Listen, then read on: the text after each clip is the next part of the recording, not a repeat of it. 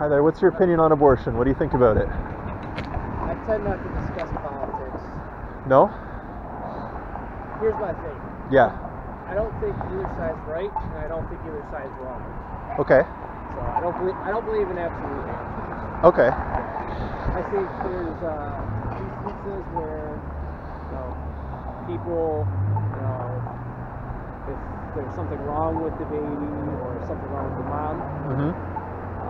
I'll put it this way: elective abortions, bad. Okay. So like the mom choosing it, kind of. Yeah. Medically advised ones, acceptable. So could you give me an example, like a medically advised one, just when, like if the baby has like a slim chance of survival after birth or something like that? Is that what you mean, or or like the baby has Down syndrome, or? No, no, no, not even Down. Okay.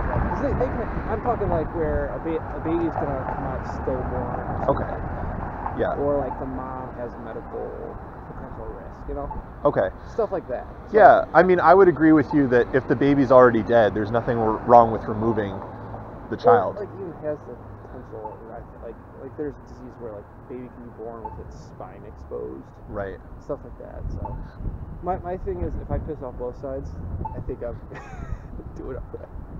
Uh, don't you think it's don't you think it's kind of weird though to kill the baby because it's gonna die? I, I think it speeds up the. So, I, I'm a hunter, so like, okay, this will sound bad. I think there's mercy killings.